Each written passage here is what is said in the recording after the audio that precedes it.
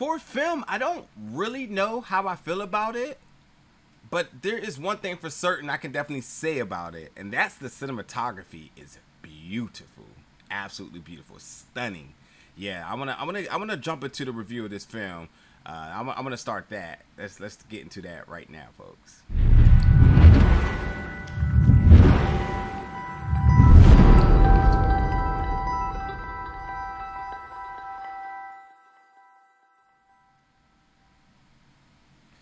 What's up everybody and welcome back to the channel today for another review and today we're going to review the film Never Gonna Snow Again which is going to be opening in theaters July 30th starting in New York and then it will hit the other side of the United States in LA starting August 6th.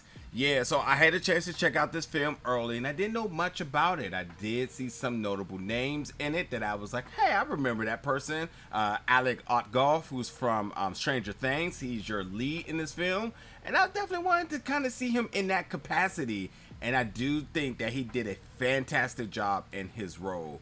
But my biggest question with this film was I really didn't understand the purpose. Like, I kind of get a glimpse of the message that's trying to be told in it, but overall, it's like the idea of what's the overall purpose of making a film and what what is it that um, the filmmakers want the viewers to take from this film. And I and I do have a sense that his character uh, Zhenia, who uh, is you know ambitious. He he as a child he had goals, and I'm gonna come. I'm a, I'm skimming over it a little bit. I'll come back to it. But he had goals. He had desires. He believed in himself, and to kind of see him chase that all the way to his adulthood, like I can relate to that because especially some of the things that he dreamed of being as a kid, I think we all maybe have been that way at one point of our life. But um, so he's a masseur and he goes into this rich gated community where he's able to practice. And not only that, he's able to make some money, but ultimately he makes significant change because his patients are people who's dealing with all sorts of issues. Uh, one dealing with actually um, uh, medical issues in regards to uh, um, uh, illnesses, uh, some dealing with mental disorders, uh, some people just probably just a little lonely. But either way, he has magical hands because uh, not only is he able to, uh, you know, really relax them and loosen muscles, you know, everything that a masseur does, um, he also practices hypnosis, and his his treatment has been magical, as they'll like to say.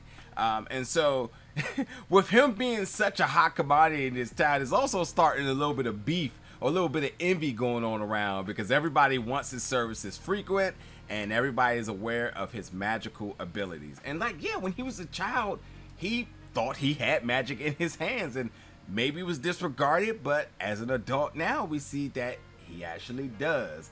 Whether it's, you know, quasi magical or whether it really is something that's going on, he still is uh, providing uh, amazing services to his clients. Uh, so the interesting thing with this story is that uh, while we see him really dishing out a lot of positivity outwards, it kind of seems like there's some mysteriousness behind him. Like even to a point that I almost thought this was a horror film because he was so mysterious along with, with the score you really thought something like crazy at any moment was going to happen, but it, it never got to that. And even with this film being two hours long, which I'm not a fan of, the last like 20 minutes or so definitely was like a wait, something's about to happen type of ordeal because it almost felt like extra content for the, the main core of this movie. Like it almost was just like, what's the purpose of this? But then that's where that extra purpose definitely uh, was significant to really provide to the viewers like what's the overall message that the story is telling? And that's when i started to grasp like okay so he was a child who you know believed in himself and maybe others believed in him maybe they didn't but it didn't stop him from pursuing his goal and to make an impact in the people around him. So uh, with him coming from a uh, you know from a from a a, a, a, lower community or lower financial community should we say uh, and with him being russian and he's going to this polish town his accent also comes off of him just being different. So like it was it was definitely ultimately a challenge for him to step into this world to be accepted and to make a change. So like again like it's it's it's super interesting and kind of see how he maneuvers in this scenario and how he makes uh, the relationship he does and the the the questionable like I ain't gonna say questionable because it never really got that. I'm trying to like not really give too many spoilers here, but like there definitely was times where things got kind of heightened and you kind of was wondering where it was gonna go, and it really didn't go the predictable route. So like you really are intrigued to see what this character does in the change of man. And then the other thing here, never gonna snow again. I kept questioning, what do you mean by snow? And it's really metaphorical in in regards to what the snow actually means in this. I don't want to give it away because I feel like that will ultimately take away the purpose of watching the film. But there's something really metaphorically about the idea of what snow presents in this film. Yes, there's like a literal like meaning for the snow, but there's also a metaphorical way, uh, uh which I feel like they're implying when they talk about never going to snow again.